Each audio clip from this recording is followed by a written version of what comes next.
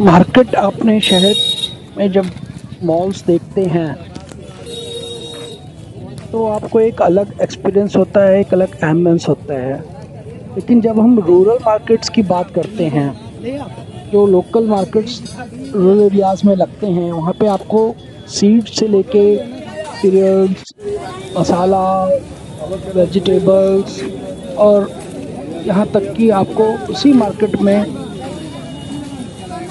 Spices के अलावा कपड़े भी देखने को मिल जाते हैं।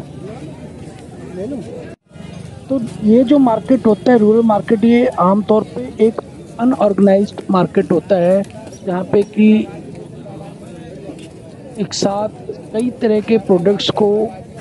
वहाँ पे शोकेस किया जाता है सेल किया जाता है। फॉर एग्ज़ाम्पल यहाँ पे आप देख रहे हैं कि उसके ही साथ में इसी लो मार्केट के साथ में काफ़ी यहाँ पे एनिमल प्रोड्यूस भी आपको,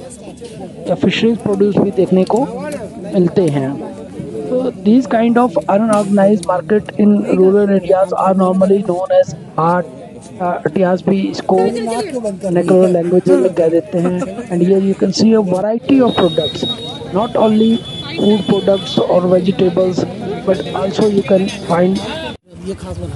clothing needs products also तो और यहाँ पे एक अलग ही आपको डिफरेंट ही एक्सपीरियंस होगा।